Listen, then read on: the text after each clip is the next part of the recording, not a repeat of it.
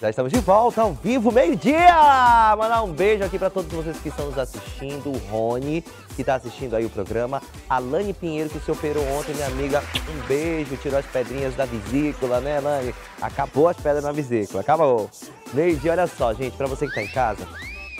Hoje a gente vai Sabe o que, que tem hoje aqui? Tem o quadro Manaus Mais Selvagem, é! O Rodrigo Hidalgo vai falar sobre bicho futsu. Que, que é isso, hein? Cadê ele? Cadê o Rodrigo? Que, que é isso, Rodrigo? Mostra aí pra gente.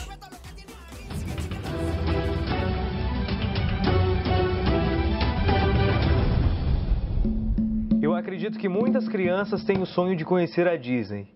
O meu sonho de criança era conhecer a África. E foi aqui que eu tive a chance de fotografar o Vervet, uma espécie de macaco cinzento que vive aqui, na Reserva Especial de Maputo, situada ao sul de Moçambique, um país ao lado de Madagascar.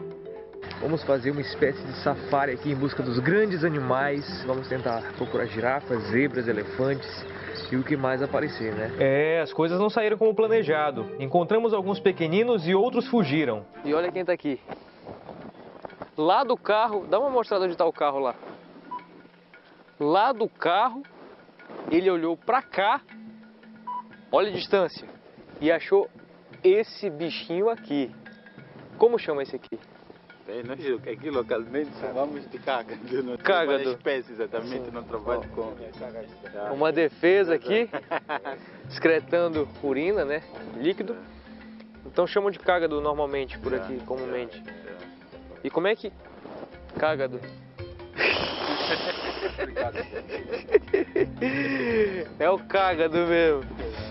Parecido com o nosso jabutis do Brasil. No Brasil temos um animal parecido que chama-se jabuti. É muito parecido, só que é um pouco mais alaranjado. Esse fica grande? Sim, tem uns é, poucos. Mais, yeah, tem outros mais maior. Tem yeah. outro, é, os coros são diferentes. Dessa banda aqui, são bonitos. São bonitos? Há diferença, há diferença entre machos e fêmeas aqui? No, embaixo não? Uh, bem, dessa espécie não sei exatamente. Não sabe? Mas alguma tartaruga que, algum cágado que tenha diferença? É, diferença sim, tem um dimorfismo dimorfismo. Sim, no Brasil nós temos os machos com um buraco aqui e a fêmea com uma corcundinha, justamente para encaixar no momento. Então, e no dialeto local, sabe o nome deles? A dialeto nome local não. Não. Para nós um. Percebi que um guarda que estava conosco conhecia o nome no dialeto local. então, no nome local é Futsu. Futsu. Futsu. Yeah e descobri que o futsu, assim como o jabuti, infelizmente acaba indo para a panela. Futsu. Futsu para vocês, vamos descobrir a espécie depois. Vamos tirar aqui. É, vamos descobrir o que, é. Cheio de sementes, um animal frugívoro, né? Tá aqui, ó. Olha que bichinho mais lindo, cara. E que sorte, e que sorte ver esse bicho aqui. Um privilégio, né? Um animal tão pequeno, eu nunca tive o privilégio de ver isso na Amazônia solto, nunca vi um jabuti solto, né? Mas aqui, graças ao Emílio, encontramos esse carinha andando aqui. Cágado para vocês.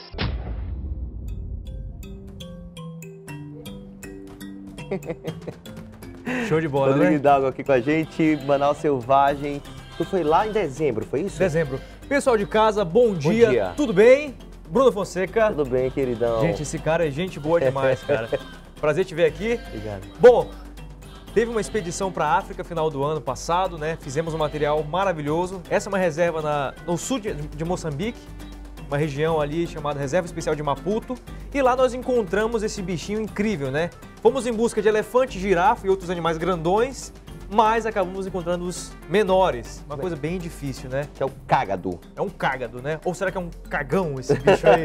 Vocês viram é, que o bicho mano. me sujou todo, todo cara. O bicho sujou lá, todo. A do almoço tá ótimo, né? É, Olha só. Maravilha. A gente mostra aí pra você o Rodrigo, que é um cara super especialista nessas áreas aí da um biólogo, né, aqui com a gente hoje. E aliás, tem um, um quadro aqui no programa que leva sempre informação para você.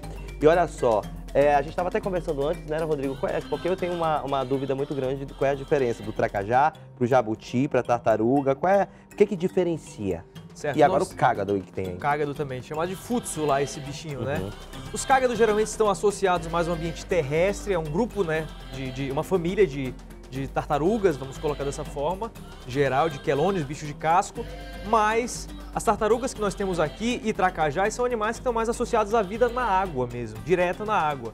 Os cágados não, eles são associados à floresta, terra firme e, vez ou outra, ali são à margem dos rios, aqui e igarapés também. O que, que você encontrou por lá? Por lá, cara, Além do cágado. coisa. Encontramos hipopótamos, que eu já trouxe aqui o vídeo também. Zebras, é, uma piton gigante, uma das maiores cobras do mundo, encontramos também. E aí, fora o prazer de encontrar pessoas, conhecer pessoas diferentes e a sorte de ter o, o mesmo idioma em comum, né? É uma grande aventura, né? Uma grande Rodrigo? aventura. Uma grande aventura, né? E agora, esse bichinho aí, ele cresce mais? Como é que é? Sim, ele fica um pouco maior, segundo a informação de quem estava lá, porque o mais difícil de você sair do seu país para você ir para um outro é que você não conhece absolu- absolutamente nada da fauna. Eu vi o bicho e falei, cara, que bicho legal, mas que bicho é esse? Por sorte, tínhamos um biólogo conosco, né? Um biólogo que conhecia a fauna local e pôde nos ajudar. Esse é um grande. Aqui no Amazonas ele existe?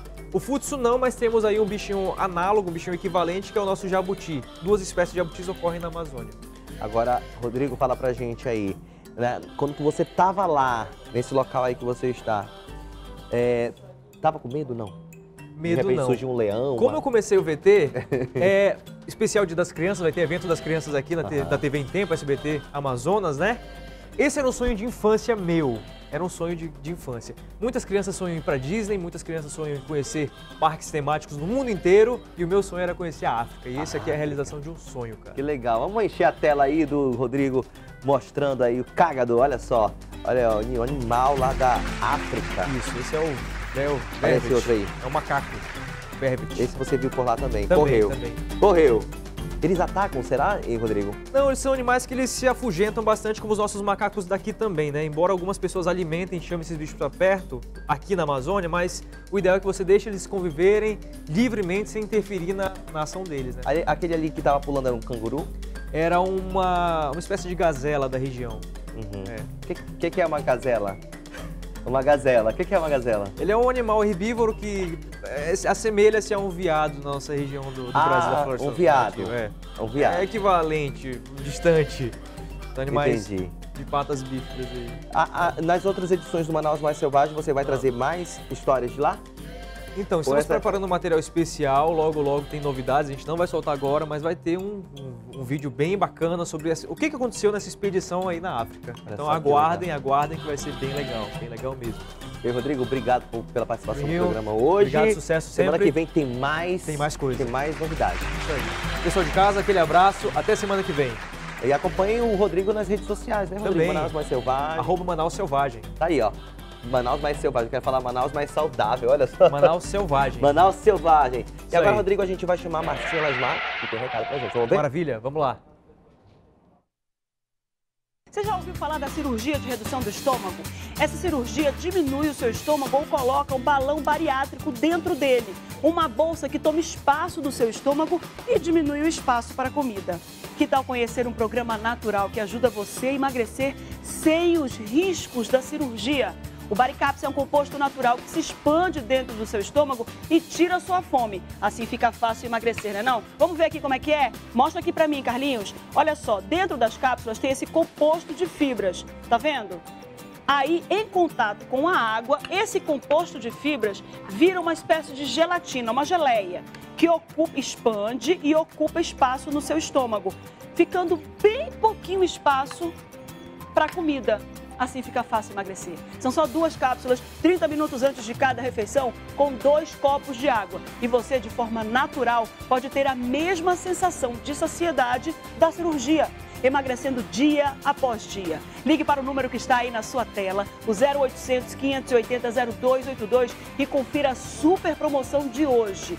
Você adquire agora o seu kit Baricaps e você pode emagrecer até 12 quilos. Minha gente, 12 quilos em três meses. Ligue e confira a super promoção válida para compras no cartão de crédito. Você leva as cápsulas que vão tirar a sua fome, o chá queimador de calorias energizante para o seu dia e o chá relaxante para uma melhor noite de sono. Ah, tem mais! Tem um prato dosador que vai ensinar você a comer com equilíbrio, dosando cada classe de alimentos. Muitas verduras, proteína, carboidrato na medida e um livreto de acompanhamento. E ligando agora, você pode adquirir o Baricaps a partir de R$ 49,90 mensais. É sério, R$ 49,90 mensais para as 20 primeiras pessoas. A Nutratop vai fazer um preço especial para pagamento no cartão de crédito corre. Kit Baricaps 0800 580 0282. Você pode pagar no cartão de crédito. Olha só, que benefício, que maravilha. Faz bem viver bem. Obrigado, Marcinha, pelo Você já ouviu recado. falar da cirurgia? Eita, olha só, a gente vai agora falar de eleição. O terceiro colocado nas eleições para o governo do Amazonas, Davi Almeida, do PSB, ele informou ontem que não vai apoiar nem Amazonino Mendes e nem Wilson Lima no segundo turno. Ele disse ainda que não se sente representado por nenhum dos dois candidatos e que vai se dedicar à família e cuidar da esposa que está doente. Omar Aziz, do PSD, também informou que não vai apoiar nenhum dos dois candidatos no segundo turno. Lúcia Antoni, Berg da UGT e Sidney Cabral ainda não se pronunciaram sobre um possível apoio aos candidatos. A gente sabe né, que todo mundo, aliás, a maioria dos candidatos que não se elegem né, e nem vão para o segundo turno, eles apoiam alguns candidatos né, nessa segunda etapa para decidir aí quem vai ser, quem vai nos representar. Então, a gente espera, aliás, a, o pronunciamento desses outros candidatos, né, saber se vão apoiar esses dois que estão no segundo turno. E olha só, a gente continua com notícia aqui no programa da comunidade, são 12 e 12. E olha só, a gente continua falando de eleição também. As quatro urnas, tem um vídeo aí, né? As quatro urnas são da 32ª Zona Eleitoral que a gente vai mostrar agora e foram encontradas por moradores da rua 15 de dezembro. Vamos ver aí, rapidão. Quatro urnas, quatro urnas despachadas aqui na rua 15 de dezembro, aqui na Compensa 3. Compensa 3, tá aqui, ó. Tá aqui, ó. Tá aqui, ó. Mostra, amor. Mostra. Aqui, ó. Pra você não dizer que é mentira minha.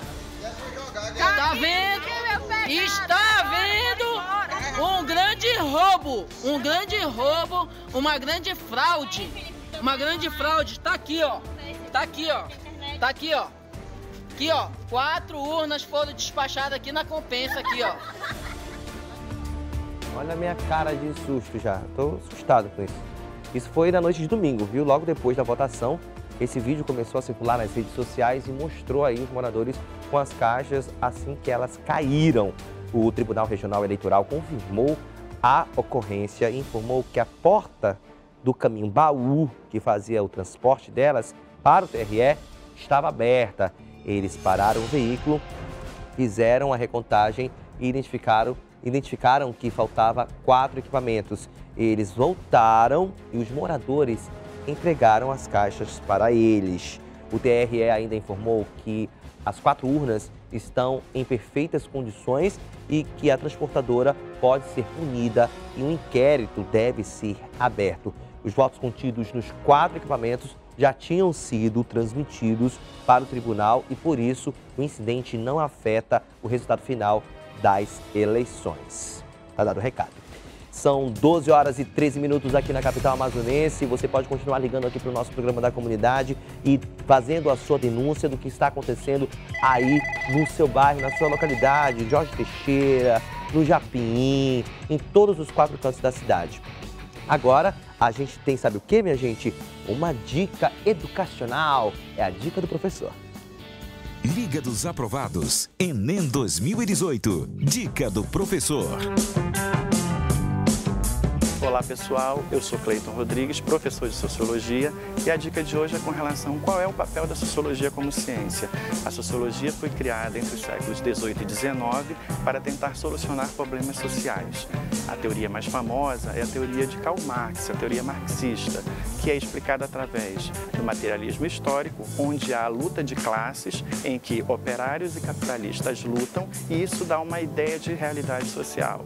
Então, os problemas criados dentro do sistema capitalista são, na verdade, resultados dessa luta de classe entre operários e os capitalistas. E não esqueça, passar no vestibular não é sorte, é resultado de muita dedicação e estudo. Oferecimento Uninorte. Conteúdo. Astem Cursos e Vestibulares. Apoio Livrarias Lira. Essa foi a dica do professor. Muito bem, hein? Não é sorte, tem que estudar, hein, minha gente? Tem que estudar. E olha só, antes de ir para o intervalo, Manaus teve 77 novos casos de sarampo. Isso é preocupante, minha gente. Isso foi durante a última semana. De fevereiro até outubro, já foram mais de 8 mil casos notificados, sendo 990 confirmados até o momento. A Secretaria Municipal de Saúde afirmou que boletins têm mostrado tendência de redução do número de casos. Olha só, gente, do total de 8.108 casos notificados, apenas 47, 447 foram confirmados, aliás, descartados, e 6.641 continuam em investigação, aguardando o resultado laboratorial aqui né, na cidade de Manaus. Porque a capital está em situação de emergência por conta das ocorrências de sarampo, que já, que já registrou aí quatro mortes pela doença. Olha só, se você ainda não se vacinou, corre, corre para qualquer UBS, para qualquer unidade básica de saúde, vá se vacinar, vacine seu filho, porque o sarampo, minha gente, mata. Sarampo mata e para quem está com sarampo, transmite. Sarampo pega. Então corre na UBS, esse é o recado aqui do programa da comunidade, para poder você se cuidar, ter sua vida preservada e, claro, né, se imunizar contra essa doença que mata, viu, gente? Olha só, a gente vai para o intervalo comercial, daqui a pouco a gente volta com mais notícias de comunidade e também o que acontece em tempo real aqui na capital e interior. Agora volta já.